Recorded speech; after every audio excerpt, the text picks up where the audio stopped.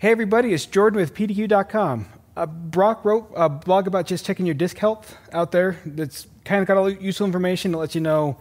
I mean, if it's a physical drive, whether the temperature, if it's healthy, or if it has problems that are on its way. Uh, if it's a virtual desktop, it's obviously not going to give you the temperature because it's just a partition section of that, or provisioned, I believe, is the the VMware term for that. I don't know. That's not my my specialty. But uh, the blog's up here, it's probably behind me on on this video.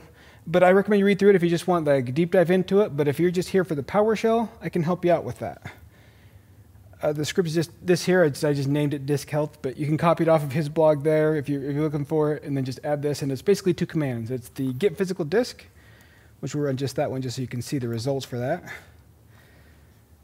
Take a bit to come back there. And this is going to give you the healthy status, operational status, just some information, but it's not going to let you know the temperature. The one that gives you the temperature is the get storage reliability counter.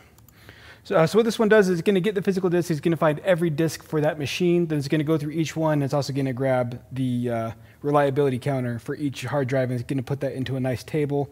Uh, the reason he has the PS custom object where he's putting it in a nice format like this is if you create this into a PowerShell scanner, you can just deploy it against all your machines against a single one. So first we'll just test it against uh, this one, one machine so we can see what the results look like.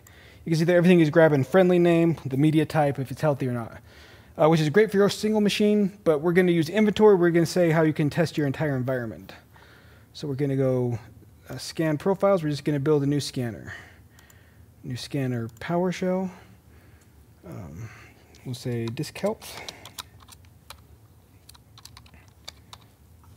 And the PS1 file, I saved it on the desktop, which I don't recommend. Have it in a file share, but you know I'm not about best practices. I'm about uh, doing what it gets done quickly, I guess.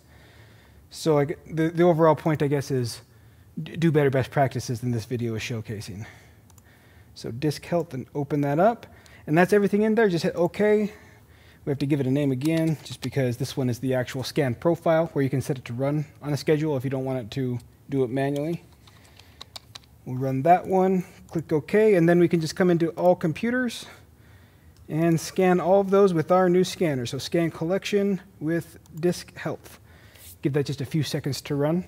Uh, this is just, like I said, if you have a lot of virtual computers, you, the temperature matters less. You might be able to just go with the git hard disk uh, command. But if you have more physical machines, this is definitely worth looking into. All right, so now we have a couple of these finished running. We'll open up, we'll say Daffy Duck here. Go to the PowerShell scanners field, or uh, menu there, disk health. And you can see we have this here. It's got a single disk, it's SSD, and it's healthy, which is good. And once again, the temperature is only going to pop up on the physical machine, and everything in our lab is going to be a virtual machine.